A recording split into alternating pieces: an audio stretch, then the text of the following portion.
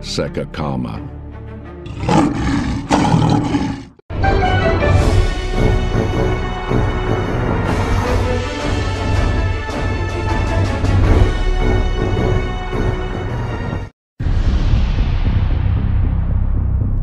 Com um olhar no futuro, Rússia já está desenvolvendo caças de sexta geração.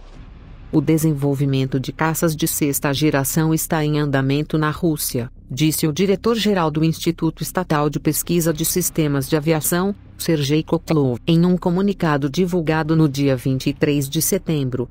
Os aviões de combate Su-57 de quinta geração estão sendo usados atualmente na Rússia.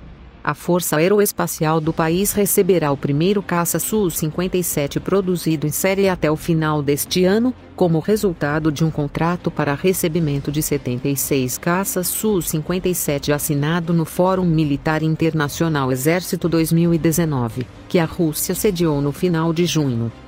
Essa aeronave levantou voo pela primeira vez em 2010.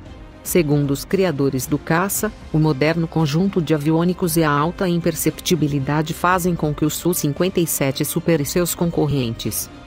A indústria de defesa russa está começando a analisar os conceitos de um caça de sexta geração que eventualmente substituirá o Sukhoi Su-57, como a Força Aérea dos Estados Unidos, os russos estão analisando uma ampla gama de conceitos, incluindo equipes tripuladas e não tripuladas, armas de energia direcionada e armas hipersônicas.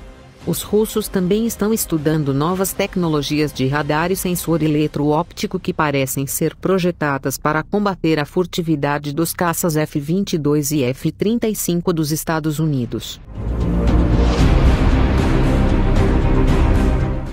Hoje, dia 23 de setembro, a Rússia conduzirá inspeções na Letônia durante manobras da OTAN.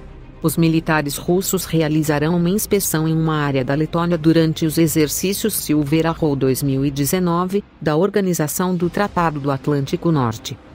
Os inspetores russos visitarão áreas de treinamento, receberão instruções sobre unidades militares estacionadas na área e atividades militares, incluindo exercícios das tropas terrestres da Letônia, Estônia, Lituânia, Polônia, República Tcheca, Eslováquia, Montenegro, Eslovênia, Albânia, Espanha, Itália e o Canadá.